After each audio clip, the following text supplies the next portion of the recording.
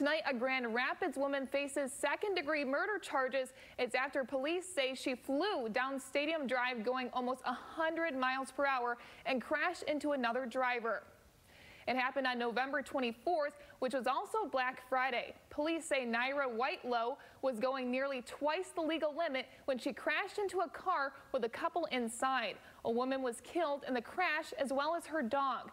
But that woman's boyfriend, Gavin Vinstra, who was also in the car, is still recovering six months later.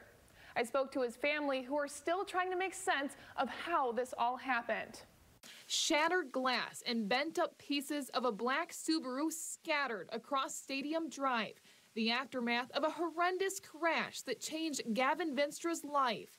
The MSU alumni lost his girlfriend Audrey Hensley and a dog in one day, all while getting seriously hurt himself when a car hit them. There's tremendous loss personally for the loved ones, the family of someone who's lost a loved one. There's tremendous loss to the community. A split instant is all it took. Police say Nyra Whitelow was soaring down Stadium at 97 miles per hour, nearly twice the posted speed limit of 45.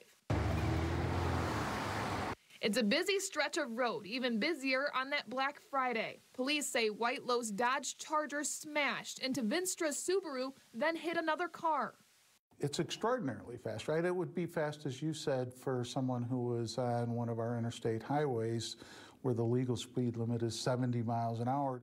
Whitelow charged with reckless driving and second degree murder. A more serious charge, according to prosecutor Jeff Getting. Not only are they doing something that they know or should know is dangerous for somebody else, but it's so dangerous that the likelihood, the natural tendency of those actions is that someone is going to be severely hurt or killed. Hurt and healing has been Vinstra's life without his girlfriend for the past six months. He's had to have numerous surgeries repairing fractures to the left side of his body. We end up charging reckless driving causing serious injury, but that hardly seems sufficient when someone is had these life altering injuries and is going to be dealing with the impact, not just for the next few months, but in likelihood for the rest of their lives. According to probable cause documents, Whitelow admitted to speeding that day because she was, quote, running late to drop off items to a friend at Bronson Hospital. A $50,000 bond has been set, and she's scheduled to be back in court early this month.